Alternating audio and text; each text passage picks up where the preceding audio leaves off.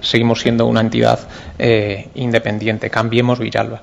Eh, en segundo lugar, qué diferente, ¿verdad? Este pleno. Ustedes traen qué diferentes maneras de enfocar un, mismo problema. Ustedes traen una moción contra la ocupación que, como ha dicho el, concejal del PSOE que ha intervenido, eh, se olvidan por completo las personas en riesgos de exclusión, ¿no? de, los procedimientos de ocupación, o sea, de desahucio por ocupación de personas mm, que están en situación de completa vulnerabilidad.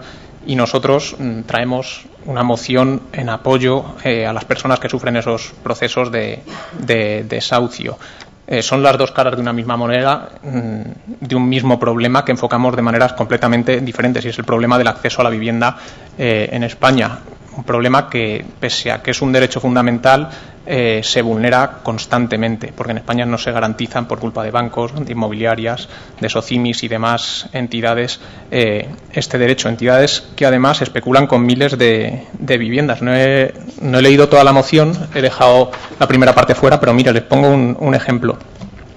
Los mencionados fondos buitres son ya, con más de 110.000 pisos en sus manos, los principales operadores del mercado de alquiler, con entes como Blackstone, con 40.000 viviendas, Lone Star, 34.000 viviendas, o Azora, La Azora, en Cazacibeles, con 12.000 viviendas, acaparando, buena parte de la oferta de la vivienda eh, de alquiler y de los procedimientos de desahucio. Estos son todos entidades, bancos inmobiliarias que han sido beneficiadas eh, por el gobierno de PP con cambios legales en los últimos años para que pudiesen llevar a cabo eh, sus operaciones y contribuir a la, burbuja alquiler que estamos viviendo ahora, que sucede a la burbuja eh, inmobiliaria, hipotecaria que teníamos hace unos años y que es el origen de estos problemas que tratamos hoy desde dos ópticas distintas. ¿no? La óptica de la criminalización que plantean ustedes contra la ocupación, olvidándose de las personas que han sido estafadas durante la crisis con pisos eh, tasados muy por encima de su valor real de mercado, a los que se les han concedido hipotecas sabiendo que no se las iban a pagar porque había cláusulas engañinas que les permitían a los bancos quedarse luego con el piso y echando a esas personas. Pues eso es eh, cómo plantean ustedes este problema y cómo lo planteamos nosotros. Eh, es interesante también que el PP haya dicho por boca de su concejala de Cultura en la anterior moción, eh, la gran labor que hicieron ustedes con el edificio Madrid, grandísima labor, increíble. Además, de nuevo criminalizando, hablan de un grupo de los trinitarios, un sector muy minoritario que había ocupando ese edificio y que tenía aterrorizada buena parte de las otras muchas familias que vivían allí y como que criminalizan a todas las personas que estaban en riesgo de exclusión, bueno, directamente excluidas, mencionando a esta gente, ¿no? Y hablan de gran labor cuando ustedes, y usted misma lo ha dicho, dejaron en la estacada a todas las personas que no tenían hijos menores. O sea, todas las personas, parejas, personas mayores, mm, personas mm, solteras que no tenían menores, ustedes no hicieron nada por ellos, se fueron a la calle sin alternativa habitacional y gran labor incluso con las personas que sí que tenían menores. Buena parte de ellas son las que estamos asesorando ahora los grupos de oposición porque al segundo año de los, alquiler, de los contratos de alquiler que ustedes consiguieron para estas personas les subieron el alquiler un 400%.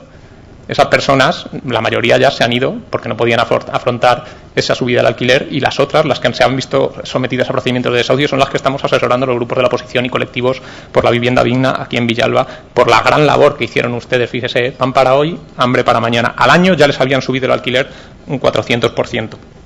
Pero bueno, eh, yo en esta moción he oído argumentos bastante curiosos y es que mm, lo que se está pidiendo aquí es algo que ya se hace a lo largo de todo el país y en todas las comunidades autónomas. Hay municipios cuyos servicios sociales elaboran informes de vulnerabilidad que acreditan desde un punto de vista socioeconómico la situación de vulnerabilidad, de riesgo de exclusión, de falta alternativa habitacional, etcétera, de personas afectadas por procesos de desalojo o de desahucio. Y lo hacen tanto a petición de los propios afectados por esos procesos como a petición de sus abogados o de los de la parte demandante o de las entidades gestoras de inmuebles, etcétera. Hospitalet o Lleida en Cataluña, Oviedo en Asturias, Parla, Fuenlabrada o la propia Madrid capital en la Comunidad de Madrid, Granada en Andalucía, en Aragón también se hace. En estos lugares nos consta que se han realizado informes de vulnerabilidad para facilitar la paralización de procesos de desalojo de desahucio o para negociar eh, con las entidades inmobiliarias antes de que llegase el juicio alquileres sociales. Y esto es muy importante porque el estrés y la incertidumbre, como ha dicho la, la Izquierda Unida, que suponen para las afectadas tener que esperar a un juicio o tener que pasar por el trámite burocrático de solicitar a un juez que solicite un informe de vulnerabilidad a los servicios sociales, son fácilmente evitables cuando los bancos o las inmobiliarias demandantes ya han mostrado antes del juicio su disposición a negociar, pidiendo para ello como requisito un informe de vulnerabilidad que acredite esa vulnerabilidad por parte de una entidad oficial como los servicios sociales de un ayuntamiento. Pero si ustedes ponen trabas a la realización de este informe, pues se prolonga una situación perjudicial para los afectados y se dificulta el proceso de negociación. Además, a pesar de que es verdad que no existe normativa estatal que regule o dictamine la obligatoriedad de estos informes, sí que existen normativas autonómicas, como la Ley Catalana de Medidas Urgentes para afrontar la emergencia en el ámbito de la vivienda y la pobreza energética, que sí contemplan la posibilidad eh, y factibilidad de que se realicen eh, estos informes. En otras palabras, no existe absolutamente ningún impedimento más que la propia negativa del decisor político para que se puedan realizar estos informes a petición del interesado, no de la interesada, y con esta moción precisamente queremos que este pleno dé esa directriz política para que así sea.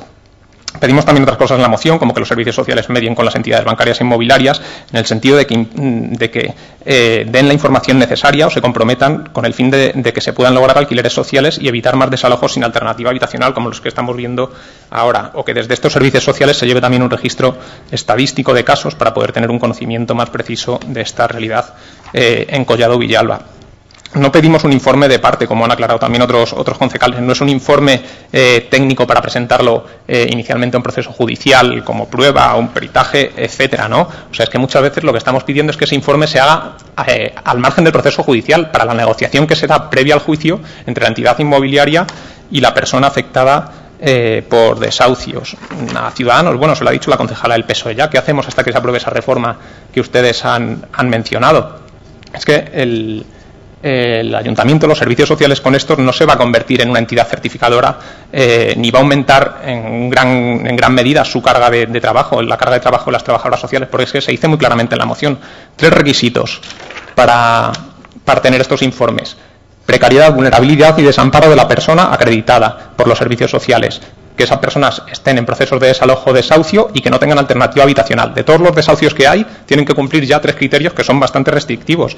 Ya me dirán ustedes eh, si esto eh, puede suponer una enorme cantidad de carga de trabajo cuando ya les he dado antes los datos de desahucios y desalojos hipotecarios que hay aquí en, Villalba. Luego, las funciones de mediación de las que habla usted, eh, el concejal de Ciudadanos, si es que ya se están haciendo en, servicios sociales en algunos casos. O sea, lo que estamos pidiendo es algo que efectivamente Servicios Sociales ha hecho en algunos casos, pero por desgracia no en todos. Y de ahí los que hemos tenido que tratar grupos de la oposición y colectivos eh, sociales. Y es una labor de mediación que no, supone negociar directamente con la parte eh, demandante, con la inmobiliaria o la gestora o el banco, sino simplemente facilitar la información que pueda permitir que se consiga un alquiler social para estas personas. Y luego decirle también al, al concejal de Ciudadanos que es que los propios jueces el propio Consejo General del, Poder Judicial ya ha suscrito un convenio con la Comunidad de Madrid y la Federación eh, de Municipios Madrileña para compartir información e informes de vulnerabilidad en casos eh, de, desahucios vulnerables. Los propios jueces, que usted decía que los juzgados que van a hacer, mm, ¿por qué les vamos a dar estas sobrecargas? Que son ellos los que lo están pidiendo. Entonces, terminando, por favor. Sí, acabo rápidamente. Mm, simplemente decirle al PP que la Sareb ya ha firmado convenios con, mm, creo que 11 ayuntamientos, no, perdón, bueno, con un montón de ayuntamientos, más de 900 viviendas. Si ustedes no se los han dado, no han hecho su trabajo. Y nada, decir simplemente que, por supuesto, como, presentamos esta moción, nosotros votaremos a favor y agradecemos a los grupos que, den su apoyo a las personas más vulnerables. Muchas gracias. El Partido Popular votará en contra de esta moción. Se somete a votación. ¿Votos a favor? ¿Votos en contra?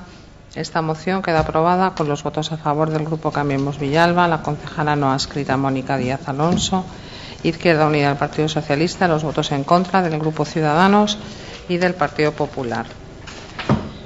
Décimo primer punto del orden del día, dar cuenta de los decretos de alcaldía y resoluciones de las distintas áreas. ¿Algún decreto por parte de algún grupo? Décimo segundo punto, ruegos y preguntas. ¿Algún ruego por parte de algún grupo?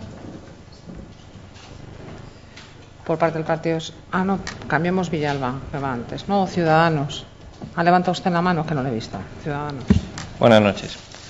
Rogamos retiren los vehículos abandonados entre el Colegio Miguel Delibes y Tierno Galván.